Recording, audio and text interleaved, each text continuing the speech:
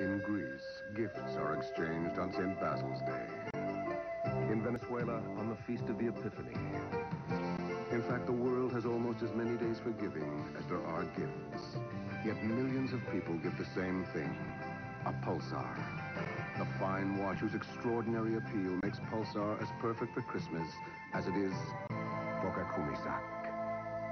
Pulsar, the world knows a great watch when it sees one.